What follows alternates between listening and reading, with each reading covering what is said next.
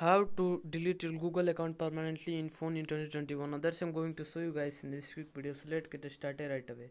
Now the very first thing you do is you have to go to your uh, browser and then search for the google.com you can go to any of the browser and then search for the google.com after that you have to click on your profile picture in the top right corner. Uh, click on the profile picture in the top right corner and then click on the manage your google account when you click on the manage your google account you come to this page and then you have to go to the data and personalization tab. After that you have to scroll down. And when you scroll down you can see the delete a service or your account. So you have to click on this.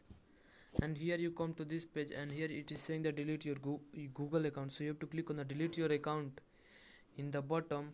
And when you click on this then here you have to enter your password so after entering pass so when you enter your password and then click on the uh, uh, uh, uh next uh, after entering the password here you come to this page and it is saying that download your account data.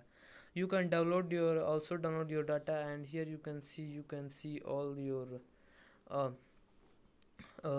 accounts history. You can see it is saying that all the content related to your Google, this Google account is deleted you have to check all these these two boxes and then click on the delete account.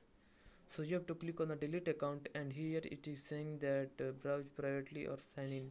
So you have uh, deleted your Instagram account uh, deleted your google account in 2021 so that's basically it. If you found this video helpful please subscribe to my channel like on this video and comment below that it works. Have a good day